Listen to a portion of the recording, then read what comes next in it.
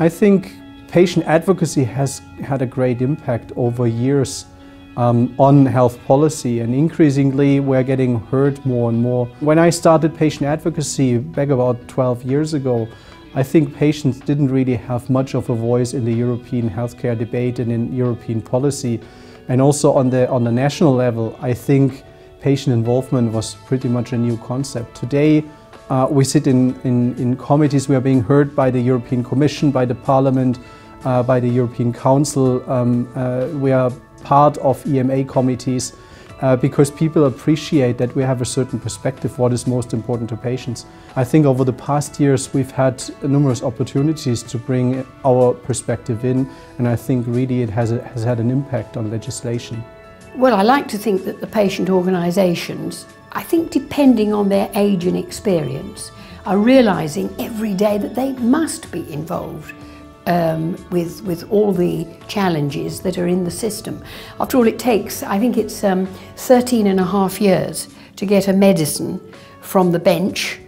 to the bedside. And that involves, of course, the, the eight years in development, which I think patients also should be involved in, then the regulatory process, the clinical trials, and then, of course, the HTA, which demonstrates the societal benefit. And I think um, that has been quite difficult for patient advocates to get their heads around.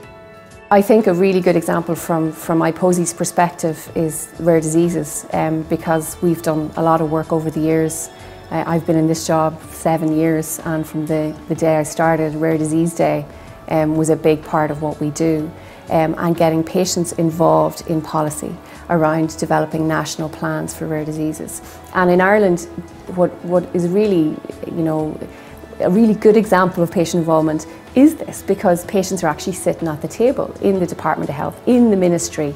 writing the plan for rare diseases. And I know that in other countries patients have been consulted, consultations have been organised by ministries, but I think we're quite unique in that we're actually sitting, and I'm one of those patient representatives, there are four, who are sitting around the table with our Department of Health, with our Health Technology Agency, um, with eh, you know, members of staff from the Minister's office and we're actually writing the plan and I myself chair the subgroup which is developing a strategy for access to treatments for, for people with rare conditions and I think that's a really good example of where patients can really not just influence policy but be involved in crafting it.